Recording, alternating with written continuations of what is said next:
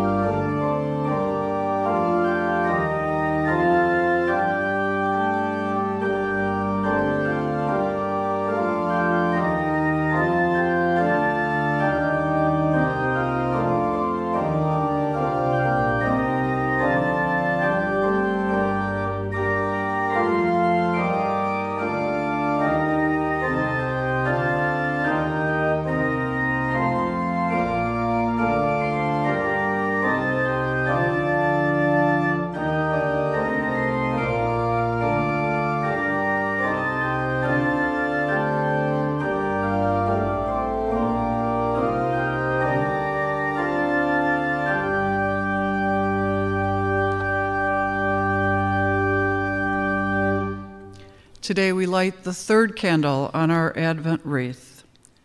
We praise you, O God, for this victory wreath that marks our days of preparation for Christ's Advent. As we light the candles on this wreath, strengthen our hearts as we await the Lord's coming in glory. Enlighten us with your grace that we may serve our neighbors in need.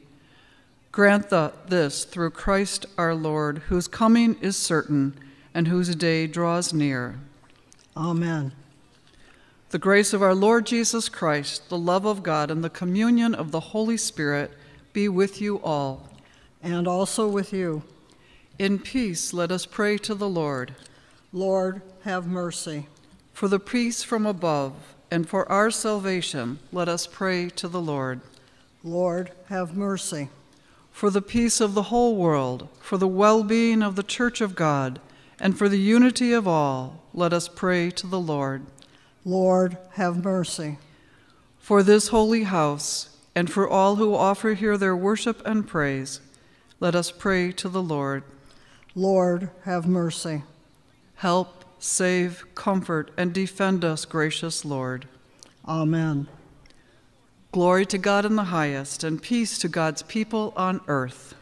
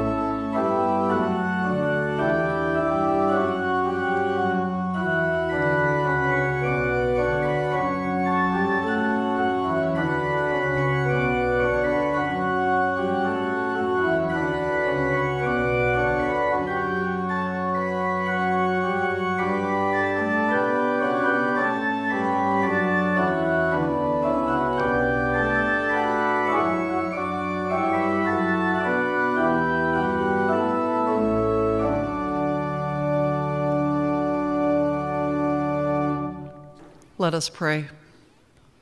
Stir up the wills of your faithful people, Lord God, and open our ears to the words of your prophets, that anointed by your Spirit, we may testify to your light through Jesus Christ, our Savior and Lord, who lives and reigns with you in the Holy Spirit, one God, now and forever.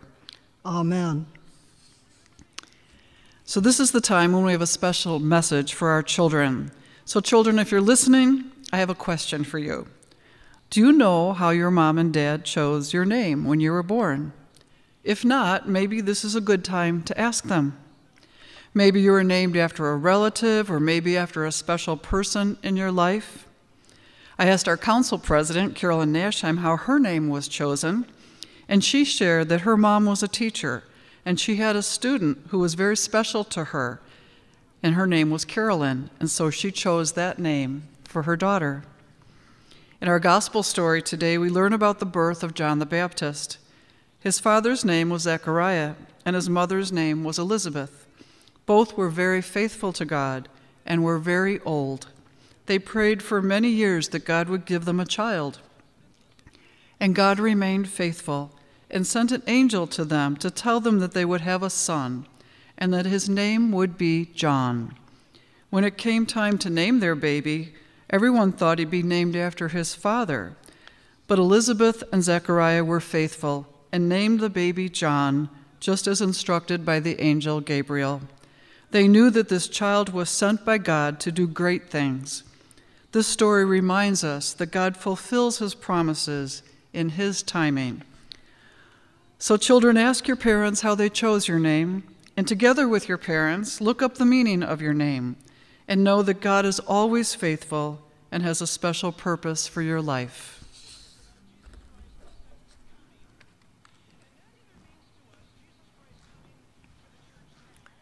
A reading from Isaiah. Many people shall come and say, Come, let us go up to the mountain of the Lord, to the house of the God of Jacob, that he may teach us his ways and that we may walk in his paths. For out of Zion shall go forth instruction, and the word of the Lord from Jerusalem. He shall judge between the nations and shall arbitrate for many peoples. They shall beat their swords into plowshares and their spears into pruning hooks. Nation shall not lift up sword against nation, neither shall they learn war any more. Word of God, word of life. Thanks be to God.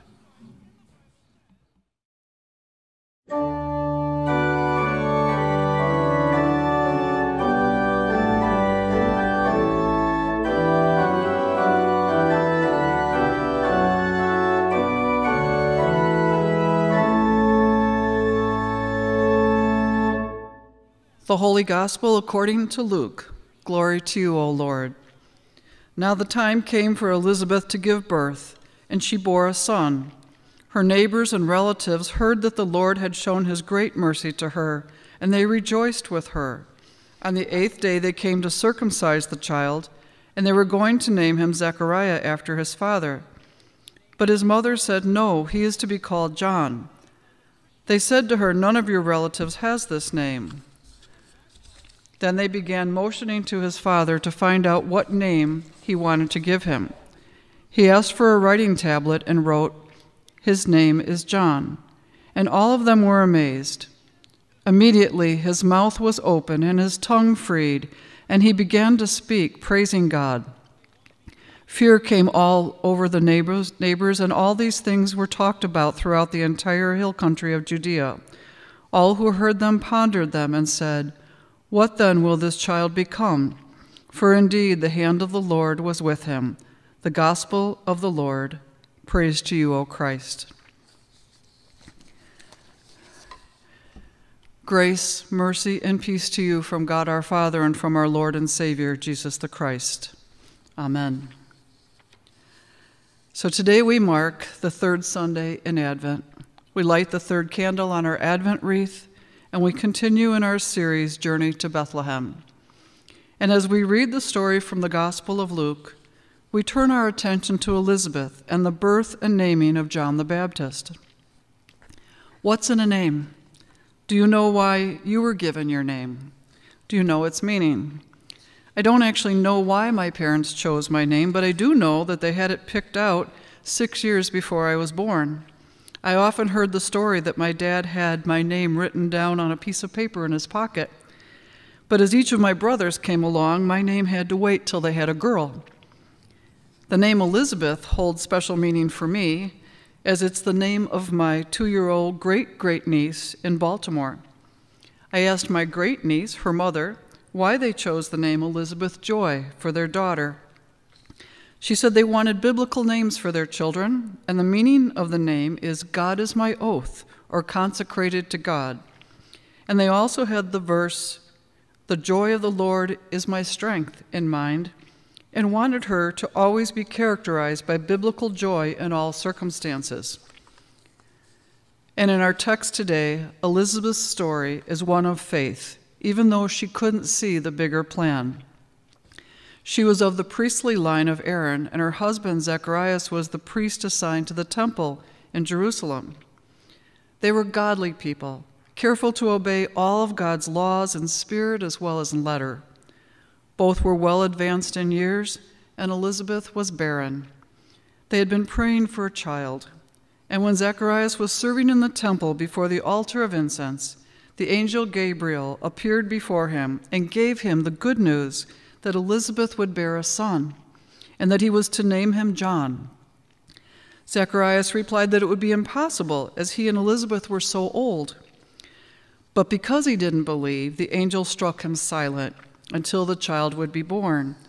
Soon afterward, Elizabeth became pregnant. The following month, God sent Gabriel to see Mary, a relative of Elizabeth's. And Gabriel told Mary that she would bear a son, and his name would be Jesus. A few days later, Mary went to visit Elizabeth, and at the sound of her voice, Elizabeth's child leaped within her, and she immediately saw Mary as the mother of her Lord. So, what can we take away from this story during this Christmas season?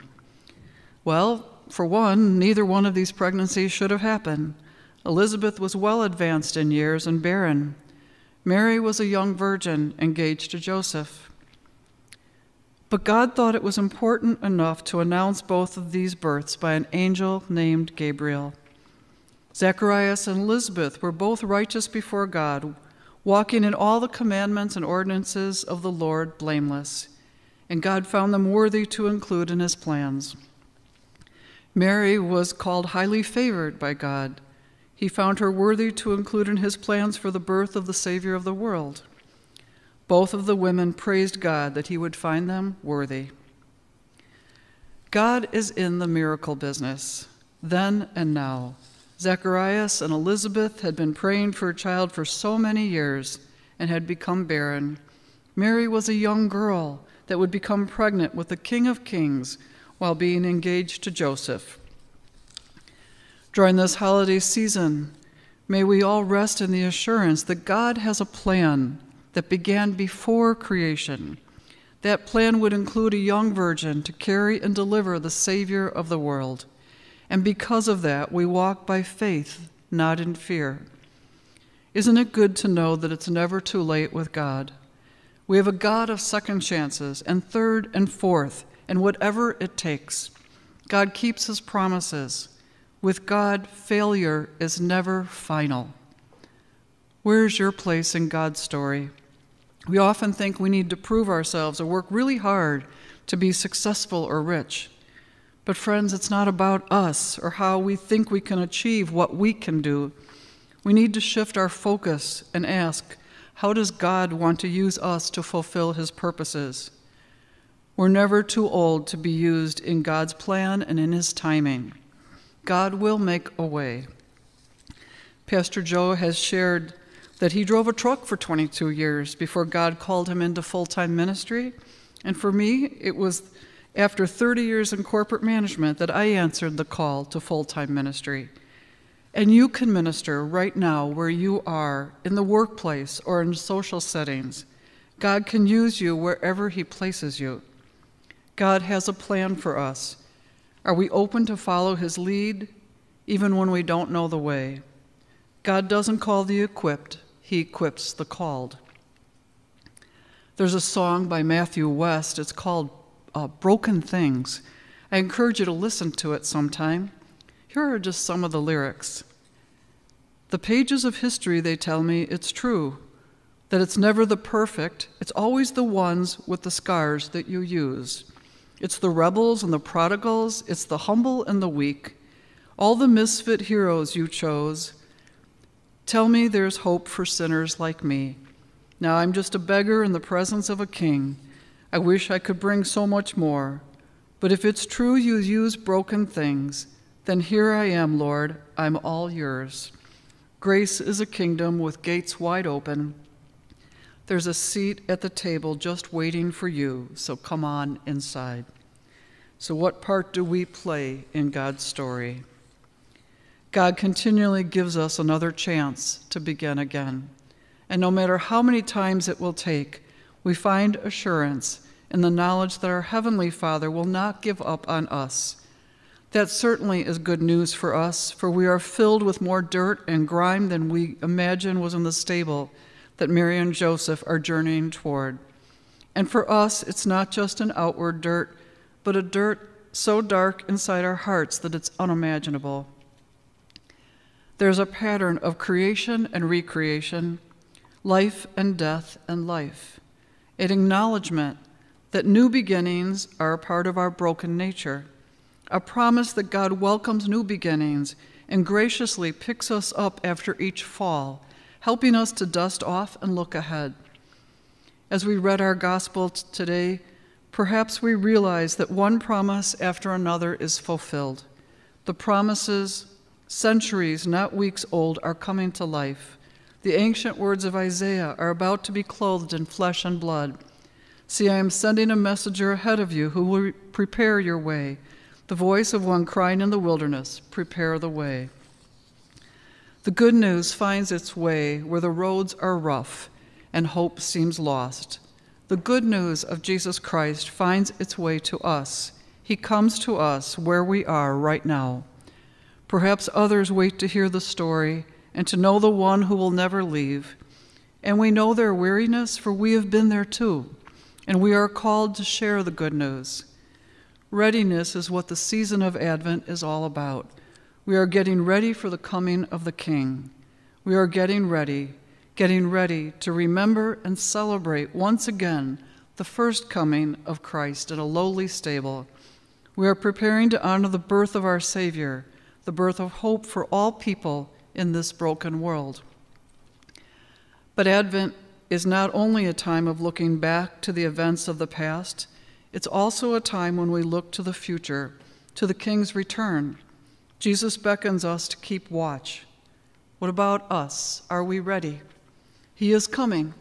It could be today, or it could be tomorrow, it could be a few months away, or in 300 years. No one knows the day or the hour, not even the angels in heaven or the Son himself, only the Father. What counts is that we live our lives on the assumption that He could be coming at any time. In other words, we need to live the life that Christ has called us to today. We are to love the Lord our God with all our heart and soul and strength and mind today. And we are to love our neighbors as ourselves today. We are to provide for the hungry and thirsty today. We are to offer radical hospitality to the stranger today. And we are to clothe the needy and visit the sick today. And so we wait. Waiting for the one who comes like a thief in the night and so, what shall we do when we're waiting? We get ready. We get ready by living our lives to the fullest in the light and love of Jesus Christ.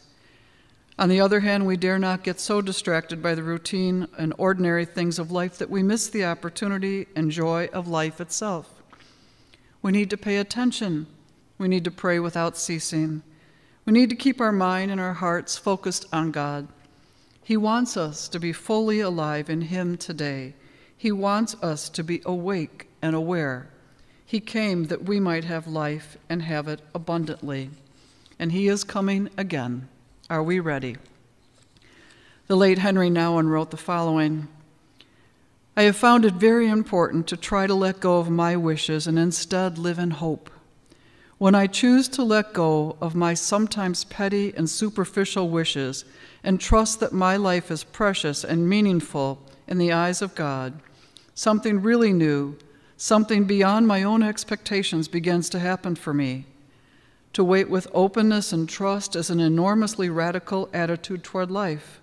It is choosing to hope that something is happening for us that is far beyond our own imaginings. It is giving up control over our future and letting God define our life. It is living with the conviction that God molds us in love, holds us in tenderness, and moves us away from the sources of our fear. One of our homebound seniors recently shared that her day begins with God, and she talks to Him throughout the day, and He walks by her side all day long.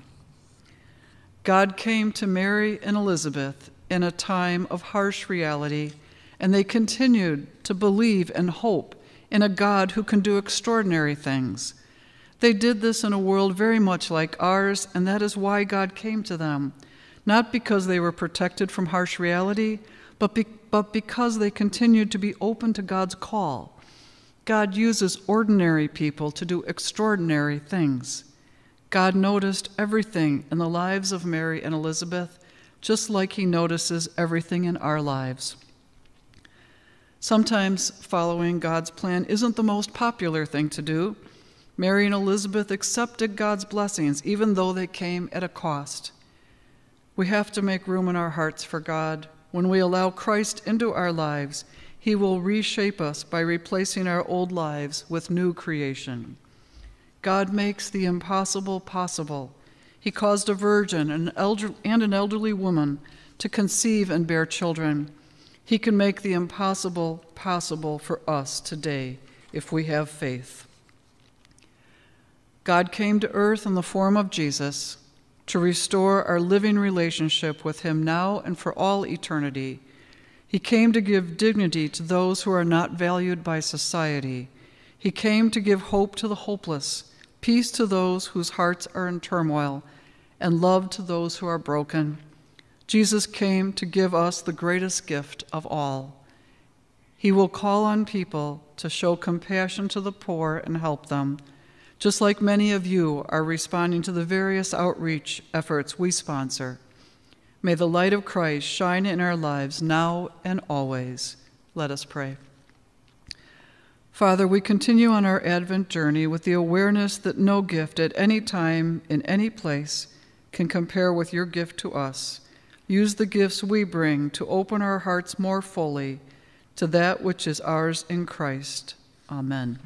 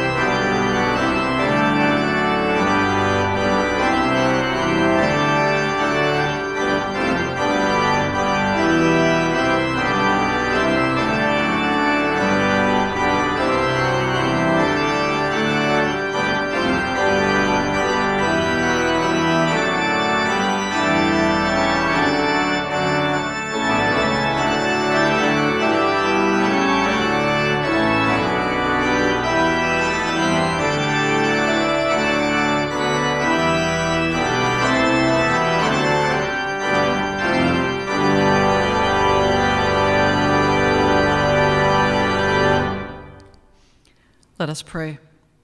God of power and might, tear open the heavens and come quickly to this weary world. Hear our prayers for everyone in need. God of preachers and messengers, you have entrusted your church with the work of proclaiming good news. Strengthen the witness of bishops, pastors, deacons, church musicians, lay leaders, and all people who contribute their prayers and talents to public worship. Hear us, O God, your mercy is great. God of every living creature, you announce the year of your favor for all of creation. Extend your kindness and relief to endangered animals and plants.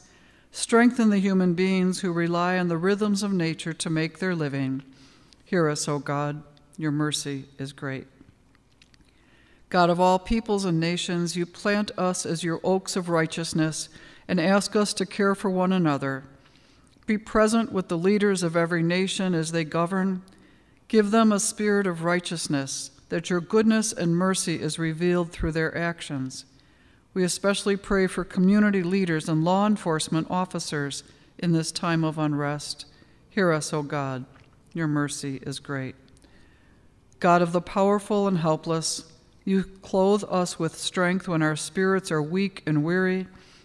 Bestow your Spirit upon this congregation and empower us to comfort the people who turn to us in times of need. Make your church a place of refuge and healing.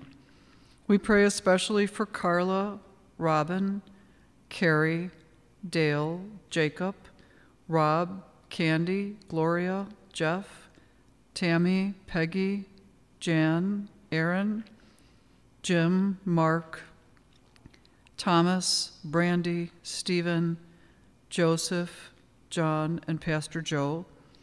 For Melissa, Rick, and Zoe Zawada on the death of Melissa's uncle, Peter Ranum. For all victims of violence, all affected by natural disasters, storms, flooding, earthquakes, and wildfires. Bring relief to all afflicted with COVID 19. Strengthen caregivers, health workers, all whose work ensures the safety and well being of others, and all who are working to end this pandemic, and for all others who we now name in our hearts. Hear us, O God, your mercy is great. God of sinners and saints, you offer joy even in the midst of our grief. We are grateful for the beloved, imperfect people whose lives testified to your radiant love. Hear us, O God. Your mercy is great. Draw near to us, O God, and receive our prayers for the sake of your Son, Jesus Christ, our Lord. Amen.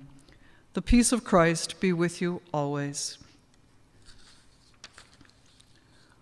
Welcome to worship on this third Sunday in Advent. We're glad that you can join us virtually. The building remains closed through December 18th, and we will continue with virtual services. The preschool and church offices remain open. We will continue to monitor the number of COVID cases as we evaluate the safety of worshiping in person. Please continue to check the website for updates, and that decision will be based on COVID number cases in our community and guidance from the city and state. Several outreach opportunities are available. The Mitten Tree for the Food Pantry, Night Ministry, Concordia Place, and others. See website for details. If you'd like to be part of a small group Bible study, please let Pastor Joe know. Small groups will be meeting over Zoom. If you'd like a visit or a phone call from Pastor, please let us know that as well. We keep Pastor Joe in our prayers as he recovers from a planned surgery this past week. We hold Melissa, Rick, and Zoe Zawada in prayer on the death of Melissa's uncle, Peter Ranum. And we hold the Randy Jones family in our prayers as well as he passed away this past week, and his service will be on Monday. Blessings on your week.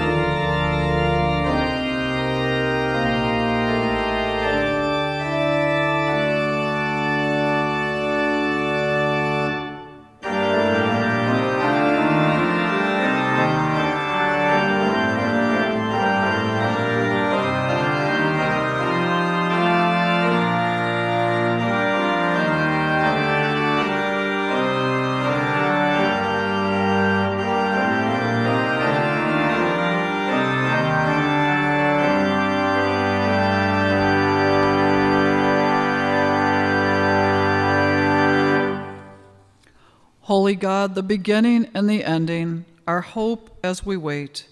We praise you for joining us to your people of old. We bless you for the prophets who call us to righteousness and promise a new earth with peace for all. For the word of your covenant, we thank you, O God. We thank you, O God. We praise you for the coming of Jesus our Lord, who lifts up the lowly, heals the suffering world, and proclaims your way of mercy and truth. For your word, who is Christ, we magnify you, O God. We magnify you, O God. Send your Spirit on all who receive your word. Nurture our faith with your grace.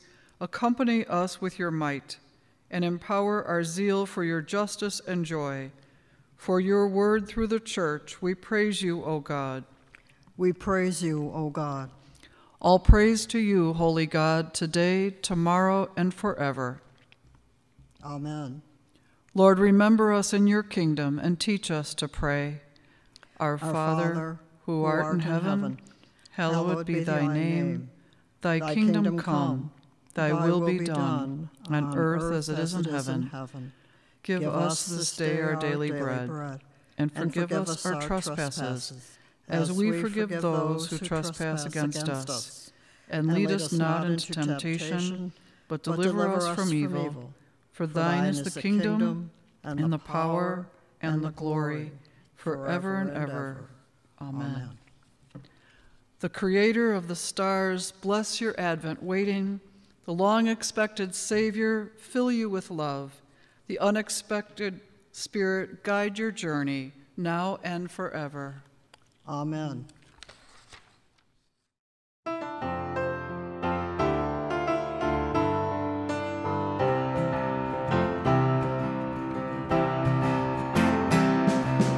Joy to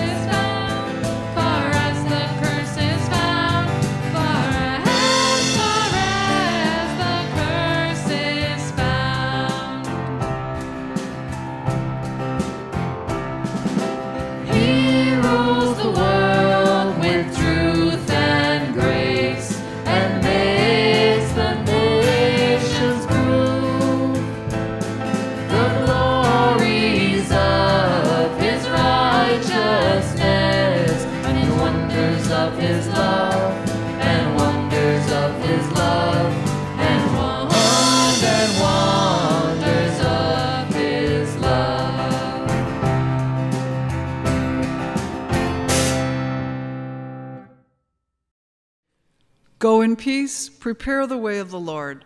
Thanks be to God.